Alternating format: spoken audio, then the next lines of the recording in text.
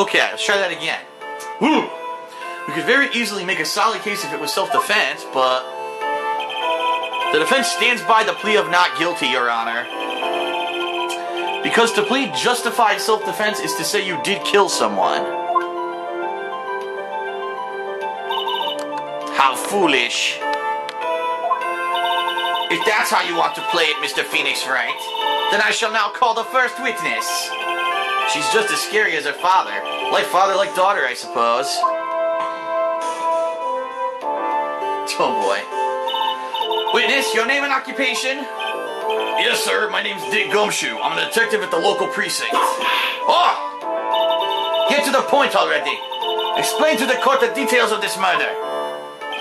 Yes, sir. Uh, if everyone would please look at this map. The channeling chamber has no windows, and the door was locked shut.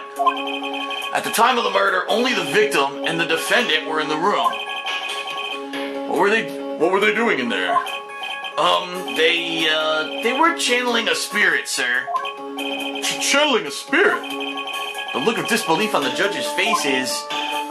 anyway, uh, a few minutes after the channeling started, gunshots were heard coming from inside the room, sir.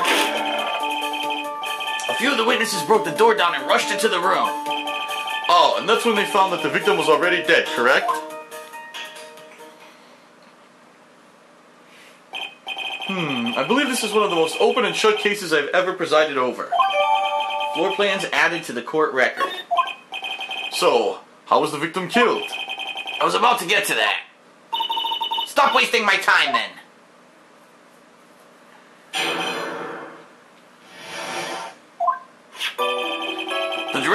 Death was a pistol shot to the forehead, sir.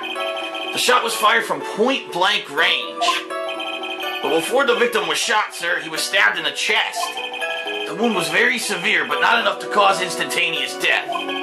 The murderer used the pistol to finish the victim off after the stabbing.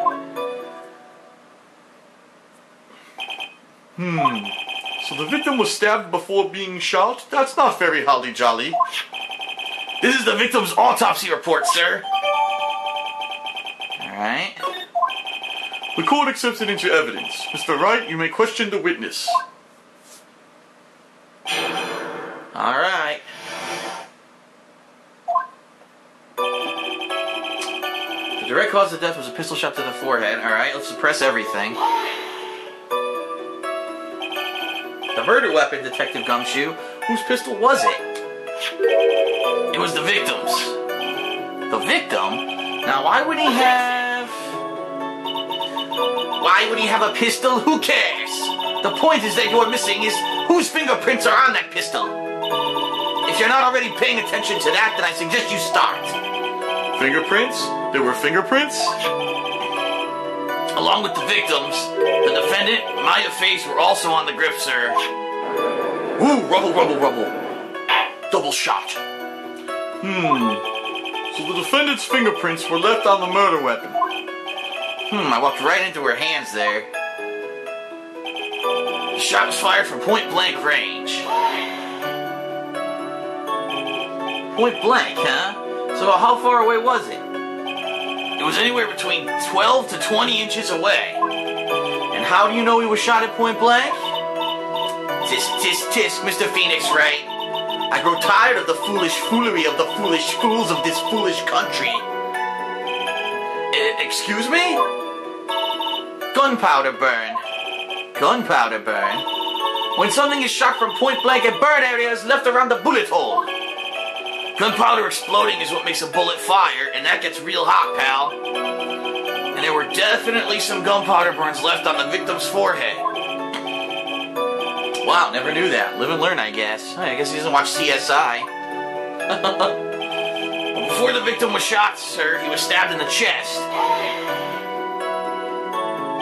Stabbed? And what was he stabbed with? A fruit knife. I see. And whose knife was it? It looks like it belongs to the face, sir.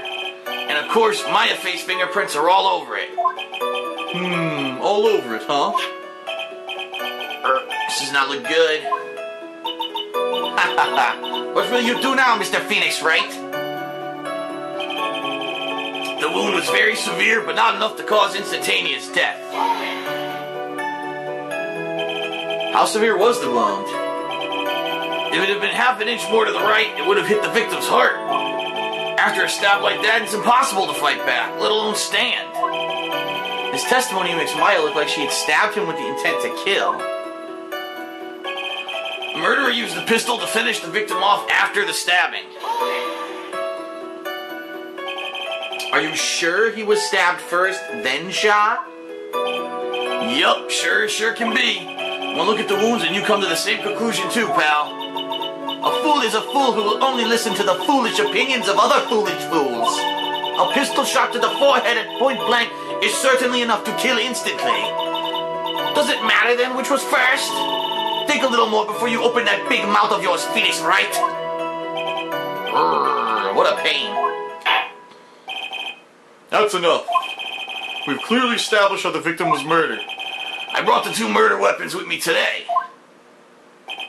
Very well. The court accepts them in evidence. Alright.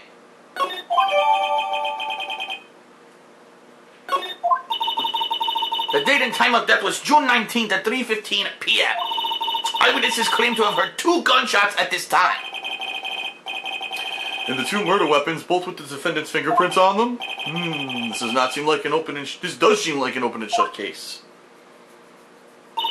Naturally.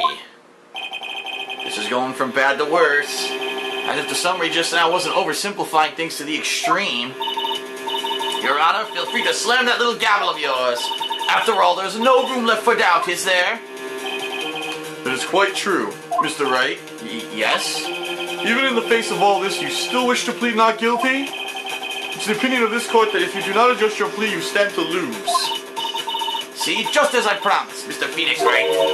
You would change your plea in less than 10 minutes. What will you do, Mr. Wright? Will you change to justified self-defense? Because now would be the time to do so. This is your final chance. This is a huge decision. I better think this through all the way. Fuck that living fucking bullshit. Mia told me not guilty, it's not fucking guilty. Ah! Ah! If we plead justified self-defense, we'd basically be confessing to a murder. After the trial, Maya's life would be destroyed and she'd be labeled a murderer. I can't let that happen. Your Honor, Have you reached a conclusion, Mr. Wright? the defense will not change its plea. We will accept nothing short of complete acquittal. Ha Oh! You. You. You've sealed your fate, Mr. Phoenix Wright? Detective! Uh, yes, sir? Present the final portion of your testimony, the final strike. Um, uh, yes, sir. N- now, see here. Proceedings are run by... Oh! Oh, yes, of course. Uh, go ahead, detective, and give your testimony. I think the court would like to hear about the other piece of incriminating evidence. Oh boy. Sorry, pal, but there's an even more incriminating piece of evidence. This is the costume the defendant was wearing at the time of the crime. As you can see, it's covered in blood. The defendant attacked and killed. Oh, forgot the voice. The defendant attacked and killed a person who, without a doubt, was not fighting back. So this is the costume. There certainly is evidence of a back spray of blood on this. This piece directly links Maya Fey to the crime, sir. I see. The court accepts this into evidence. Alright. All right, Mr. Wright. Maya's fingerprints on both murder weapons and blood splatters on her clothes. Could this situation get any worse? Ha, what's wrong? You seem to be at a loss. I think this is the last piece of testimony the prosecution would have to offer. Feel free to sulk off with your tail between your legs, Mr. Phoenix Wright. Please stop calling me by my full name. It's disturbing.